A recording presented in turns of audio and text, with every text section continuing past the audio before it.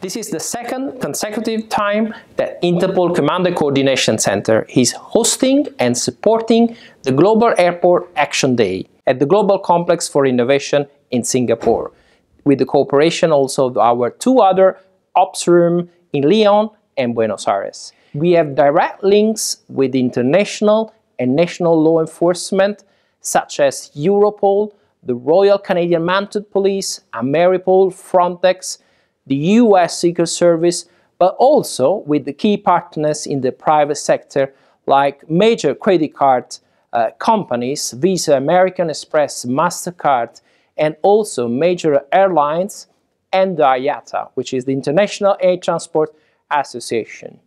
In particular regarding aviation, in 2016, the estimation of travels raised to around 3.6 billion passengers.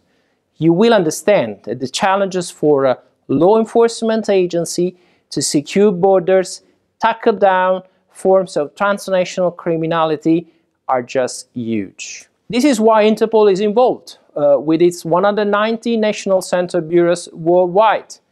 Different time zones, different languages, multiple entities involved, police, immigration, airlines, credit card, justice. You can't run this size of international operation without the coordination 24 hours of command post. This is exactly the mission of the Interpol Command Center in, in Singapore.